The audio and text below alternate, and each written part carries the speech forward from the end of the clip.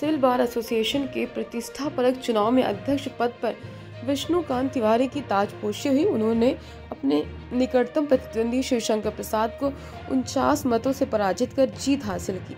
सचिव पद पर राजेंद्र प्रसाद ने अनूप श्रीवास्तव को 41 मतों से शिकस्त दी और वरिष्ठ उपाध्यक्ष पद पर बहन जायसवाल ने अरविंद कुमार को उनतालीस मतों से पराजित कर जीत दर्ज कराई। सोनभद्र से दीपक सिंह व मोहम्मद शमी मंसानी की रिपोर्ट, दैनिक भास्कर।